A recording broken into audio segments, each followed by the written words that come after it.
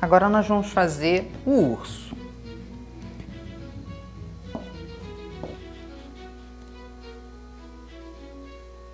Com um pedaço de pasta marrom, a gente vai abrir, não muito fino, grossinho. Vamos cortar aqui, ó, com um cortador redondo, o tamanho que a gente quer que seja o rosto do nosso ursinho. E aqui eu vou tirar essa forma redonda dele. Eu vou fazer assim, ó. Com o cortador que eu usei para cortar a carinha do urso, eu vou cortar um outro círculo. Eu vou medir aqui, ó, e vou cortar.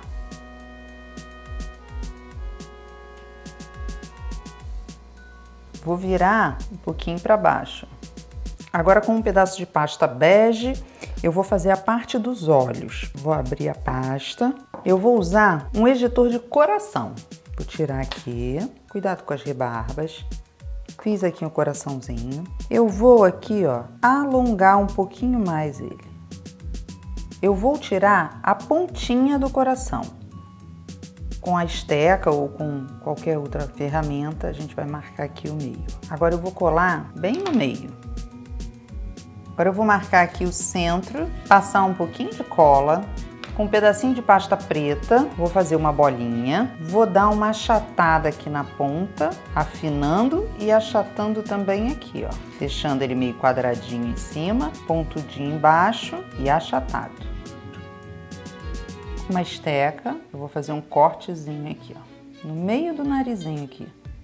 Agora com dois pedacinhos de pasta preta, nós vamos fazer a sobrancelha dele. Um pequeno rolinho, um pouquinho de cola.